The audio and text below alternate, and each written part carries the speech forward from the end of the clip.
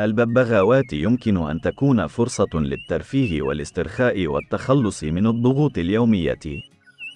لا تنسوا الاشتراك والإعجاب أهلا وسهلا بكم على قناة الحياة عجائب كما أن تربية الببغاوات يمكن أن تكون نشاطا ممتعا ومفيدا للأفراد وخاصة الذين يعانون من الوحدة أو العزلة.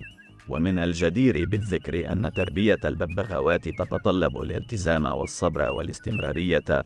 مما يمكن أن يساعد في تحسين الصبر والتحمل لدى الأفراد ومن الجوانب الإيجابية الأخرى لتربية الببغاوات أنها تعتبر نشاطا يمكن ممارسته في المنزل ولا يتطلب الكثير من المساحة أو التجهيزات الخاصة.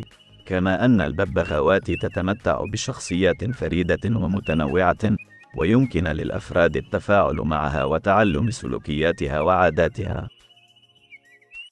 كما أن تربية الببغاوات يمكن أن تساعد في تحسين الصحة النفسية للأفراد وتخفيف التوتر والقلق.